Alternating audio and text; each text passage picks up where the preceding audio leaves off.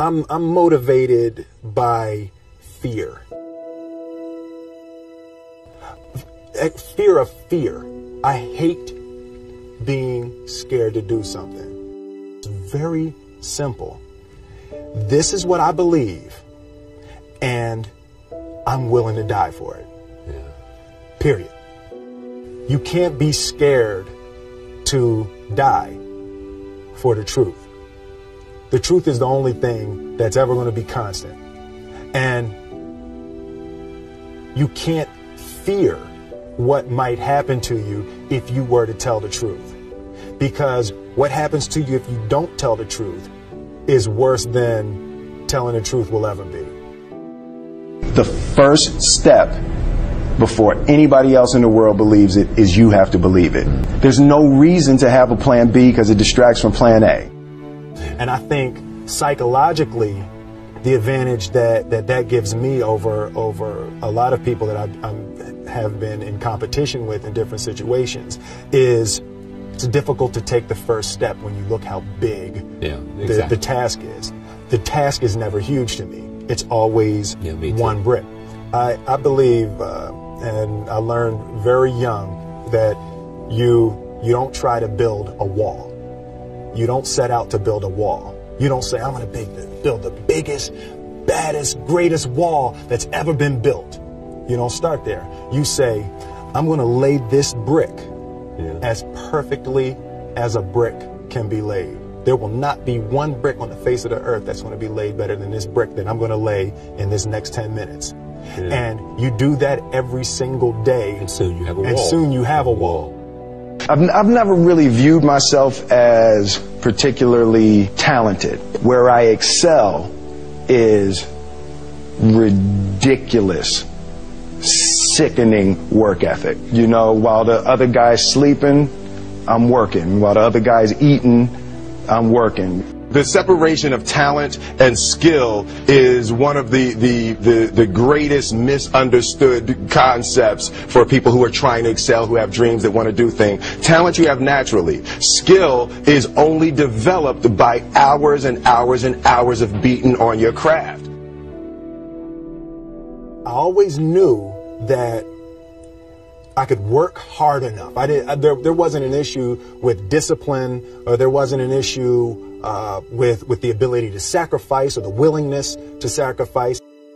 There's no easy way around it. No matter how talented you are, your talent is going to fail you if you're not skilled. Mm-hmm. You know, if you don't study, if you don't work uh, really hard and dedicate yourself to being better every single day. Mm-hmm. This uh, this one year, my father had his shop, and he decided for whatever reason that he wanted a new wall on the front of his shop. So he tore down probably about, uh, you know, 16 feet high and probably about uh, 30 feet long. He just completely tore the wall down, and my brother and I had to dig a six foot hole. We for would the mix foundation. for the foundation. Right. We would mix in the concrete by hand. Yeah. A year and a half. We were building this wall for a year and a half. Every day after school, we were coming, mixing concrete, putting it in the hole, doing it. And it was just myself and my little brother. And I remember standing back, looking at that wall, saying, there's going to be a hole here forever.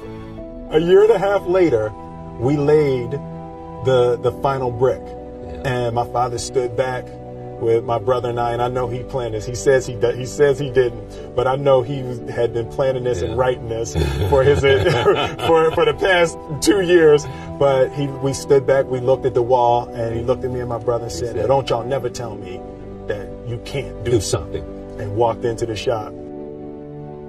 As a child, my parents always told me you could be whatever you want to be. You could do whatever you want to do. And you know, that, that office, that position, the, the highest office on the face of the earth, it was something I heard my parents saying it, but I didn't totally believe it. Yet I went out in the world and I carried myself and I held my head high and I stood there and I looked people in their eyes and I talked to people as if I was deserving of everything that this planet has to offer. I just, I really want to say to, to children out there and to, to people who are watching, Confucius said one time, he who says he can and he who says he can't are both usually right.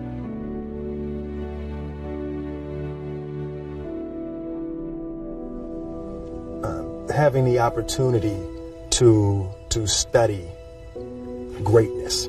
Anytime you have that that opportunity, um, there are certain there are certain intricacies that will make clear who you are. It becomes that much more clear who you are. The definition of who I am is very clear to me, and it also redefines who I want to be. In that I know for a fact that I'm stronger than I thought I was. You know, you can't help but ask yourself the question, what would I do if I was in Muhammad Ali's shoes? I'm not the best at anything. You know what I mean? Eddie Murphy is funnier than I'll ever be. Denzel is more powerful than I'll ever be. I think that, that my strength is I can do everything well.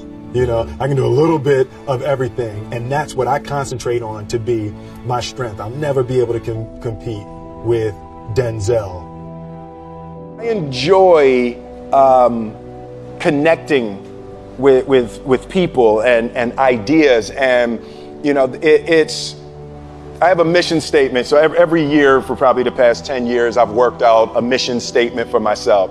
And for the last few few years, the mission statement has stayed the same, and it, you know it's been improve lives, right? So when when I go into something, I'm looking for how the quality of this piece could potentially improve lives. But it's all along the way. It's when you make the movie and how you're interacting with people in the process. And, you know, the, the, the concept of improving lives runs through the center of everything I do. And then I realized that the, the, the way to improve lives is to continually improve yourself, right? So with that, every every morning when I when I get out of the bed, you know, I the, I haven't fixed everything in the world yet, so there's always something to do.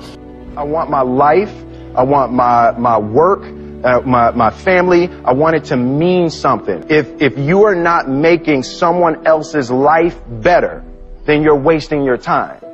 You know, like the, the, your life will become better by making other lives better. Few months ago, I said that I believe that uh, if I chose to, I could be the president of the United States. And I think uh, as I've, I've, had a chance to intellectualize why I said that. Yeah. And I think that there's a certain delusional quality that all successful people have to have. You have to believe that something different than what has happened for the last 50 yeah, million yeah, years right. of history, you have to believe that something different can happen. The one thing that I that I truly tried to communicate in the interpretation of Ali is the complex simplicity of greatness. Yeah. And how greatness is not this wonderful, esoteric, elusive, uh, God-like feature that only the special among us are, will ever taste. You know, it's something that truly exists in all of us. Loss is bound to joy. Like pain and suffering are bound to joy. The, the being able to survive something is actually a big part of being able to find that next wave of joy, you appreciate um, smaller things. I hated being scared, you know, that, that I didn't want to even take the meeting. I hated, I just hated that being scared to do something. And I think what developed uh, in my in my early days was the the attitude that I started attacking things that I was scared of.